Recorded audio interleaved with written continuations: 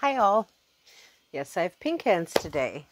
Um, uh, this is probably going to be a small, short story. Um, yesterday, I spent some time with a guy I recently interacted with in the neighborhood, and he was interested in hanging out and chilling some time. And I'm like, yeah, that's cool. I'm up for making new friends. Um, I have been actively working on making new friends and interacting with more people. Um, so, anyways, he stopped by. So we were chilling. Um, kind of had an idea what he might be interested in. And so, anyways, we were chatting a bit. And he didn't really seem all that interested in asking me a lot of questions or getting to know me at all. And he didn't seem very interested in opening up and sharing about himself either. So conversation was rather halted. And yeah, didn't take too long before I figured out what his intentions were. Big surprise. He wanted an easy hookup. And I told him very honestly, I I'm just not interested in that at the moment. Um, I lost my partner a little over 15 months ago, and I my libido went with him. TMI, I know, but that's just true. Um, I hope someday maybe I will be open to the idea of being intimate with another person, but at this point in my life, I'm definitely not interested in intimacy, sexual contact, um, romance, nothing from a guy or any person. Um, I am really interested in friendships and getting to know new and different people, but I have no interest in that. And his response,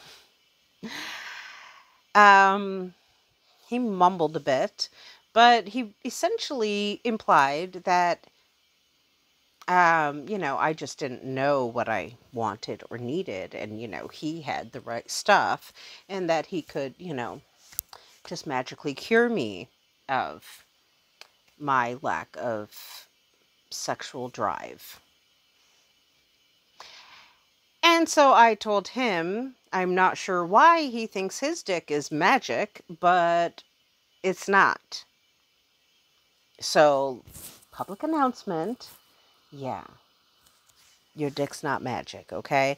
It can't. I tried to explain to him I am sufficiently grown. These last 15 plus months, I have been doing a lot of introspection. I have come to understand myself on a level that I did not really understand myself before. And I've always been pretty reflective and but I've really come to solidify and really understand myself. And I explained some of this to him as forwardly as I could that I know myself quite well. I don't know everything about myself. I don't know that we ever fully understand ourselves. But at this point in time and at this place I am in my life, I have no desire. I get repulsed if anyone tries to get anywhere near me in an intimate manner. It, it just turns my stomach, literally turns my stomach. So, no, the fact that you might have some magic penis. is just not appealing to me. Um, I can recognize he's a handsome man. I like his style. When he wants to talk, he can be a sort of okay communication person, but not really. But I'm like, yeah, they, they, I have no interest in that. I know myself, I understand myself, and that is not something that appeals to me at this point in time. But he was really confident, and confidence is wonderful, but I'm like, nope. And he asked if we could chill again. I'm like, sure. Just know that that is not on the table. I think maybe he thinks that I'm like playing hard to get. I don't play hard to get. I am hard to get, and mostly because I have no interest in being got. Um, yeah, I I told him straight up. I'm like, I'm being honest with you. I'm being upfront with you. I'm not sure that he's really familiar with that approach. But I was just like, no, this is what it is. If you want to spend time with me, that's fine. I'm curious about getting to know all sorts of things about new people. But that's not something I want to get to know. And yeah, I'm sure there's plenty of people that would be flattered.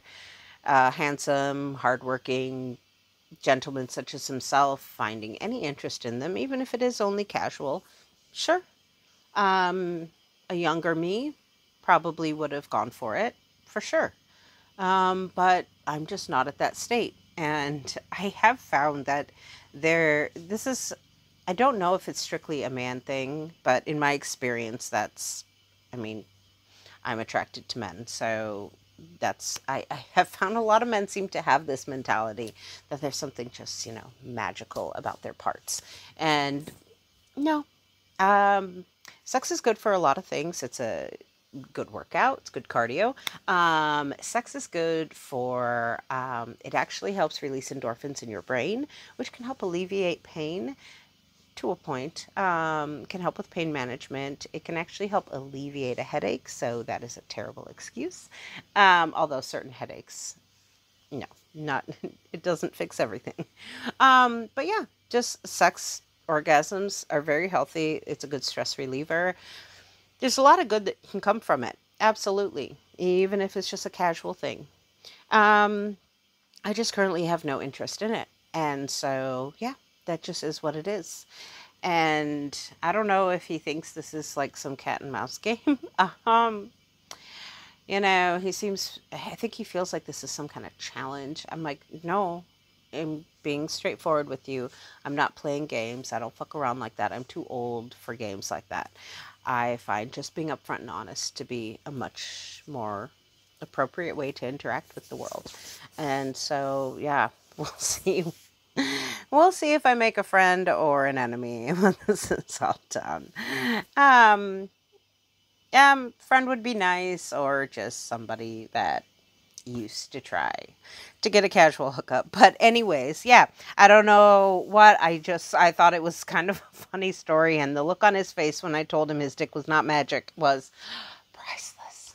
I wish I could have been filming it and I could but just like that jaw like I'm quite certain no one has ever said that to him before. But now you can't say that no more. But yeah, so that was an interesting interaction I had with a fella yesterday. Entertaining, though, to say the least. So I thought I'd share it with y'all. Um, hope you're having whatever sort of weekend you're having. Um, it is okay if you're not okay. And hopefully you're finding a way to get by. And until next time, ciao.